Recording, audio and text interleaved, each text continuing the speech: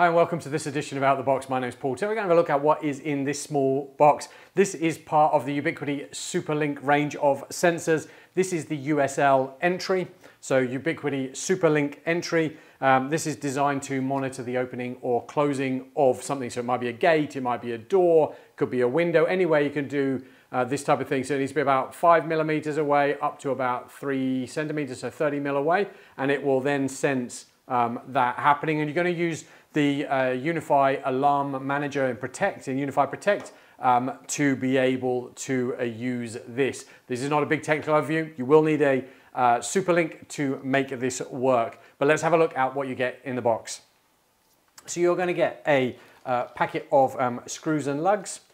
You're going to get a get started guide, which you probably don't take out of the wrapper. Do remember, like I said, you do need a Ubiquiti Superlink um, and to adopt this um, to the setup. You're going to get a little measurement guide that's just going to show you the minimum and the maximum um, apart you can be um, for this device to work.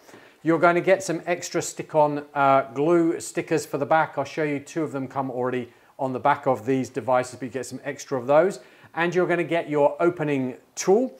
This is the actual sensor um, and this is the main body of it. So obviously these are going to sit together and as this moves backwards and forwards or this way, then it will monitor, as you can see the magnets in there, will actually monitor uh, its um, distance apart.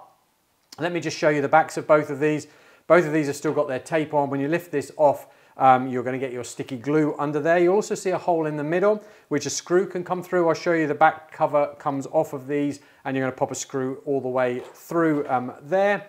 Um, on the bottom here of uh, this device, you get your action button. This can wake the device up or help you with the pairing of it initially. You're going to get uh, an indicator light to show you whether it's actually connected with your SuperLink and the signal uh, indicator over there. Now, these come with a lithium ion battery, uh, should generally be in it, but it is replaceable. You're gonna get a little opening tool here, which is gonna go under uh, this little lip here. Fine, once you put it in, push it in and then twist it. Um, I find is probably the way, oh, there we go, the lid has popped off. Um, and then inside there, there you go, you're gonna get um, there your lithium ion battery. This is a CR123A, I believe it is, battery. You do get a little tamper uh, sensor, and you can just see that just by my fingertip um, there, which uh, will alarm if you set it up whether the back has been lifted off, and you are going to get your little reset hole. Then, um, as I said, in the back of the cover, this is the way the stickers are. Um, if we then switch this over here, you'll actually then see you can push this through and put a screw through there um, and obviously fix that maybe to the wall, your gate or wherever it is. Um, and then you're going to be able to just clip the uh, back on that. The same is actually going to happen here. You're going to lift the, the back off um, the little sensor.